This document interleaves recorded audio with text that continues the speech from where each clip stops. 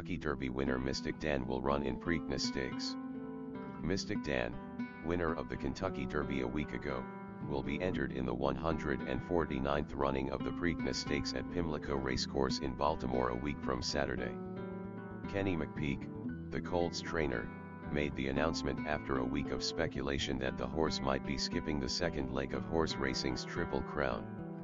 The alarm bell sounded on Sunday after Mystik Dan ate only a small portion from his feed bucket and didn't sleep well after winning the Kentucky Derby by a nose.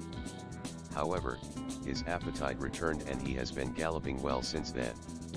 A horse's relationship to its food is one of the warning signs that trainers monitor to determine the health of their horse. In this case, much ado about nothing. McPeek had exercise rider and retired jockey Robby Albarado gallop the three-year-old colt on Saturday morning at Churchill Downs and he came back fine. McPeek also had the horse scoped, where a tube is inserted in the horse's nostril and then pushed down to see whether there are any respiratory issues, and that apparently came back good. All systems go, McPeek told the Maryland Jockey Club. He'll ship out on Sunday morning. Horse Racing Nation reported that McPeek already had all the plans in place to move the horse to Baltimore. Mystik Dan wins the 150th Kentucky Derby by less than a nose. I've already kind of arranged the logistics of it all, he told the independent racing website. We just need to hammer it out with a couple of small details. I have my own trucks, my own drivers, my own people. We don't need to book them.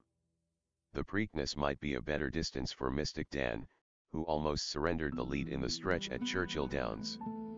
The Kentucky Derby is 1 and 1 4th miles and the Preakness is 1 and 3 16ths miles, about 110 yards shorter. The draw for the Preakness Stakes will be Monday.